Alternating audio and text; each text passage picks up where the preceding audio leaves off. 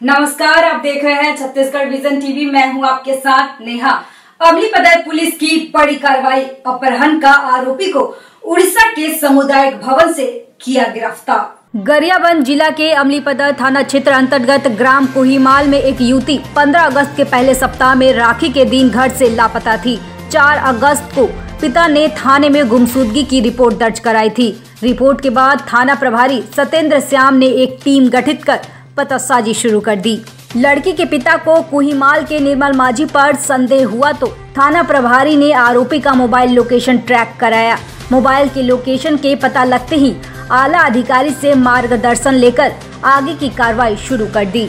आरोपी निर्मल माझी युवती को उड़ीसा के जयपटना ब्लॉक के कुमजोर के एक सामुदायिक भवन में छुपा कर रखा था, जहाँ से थाना प्रभारी सत्येंद्र श्याम के गठित टीम के सहायक उप निरीक्षक इंदूर साहू, आरक्षक रिजवान कुरैशी और हेमंत आवड़े ने लड़की के परिजन को साथ लेकर आरोपी को गिरफ़्तार कर लिया। अमली पदर पुलिस ने अपराध क्रमांक 40 बटा बीस के तहत मामला दर्ज कर धारा तीन सौ तिरसठ भादवी चार छह पास्को एक्ट में पंद्रह दिन के न्यायिक हिरासत में जेल भेज दिया।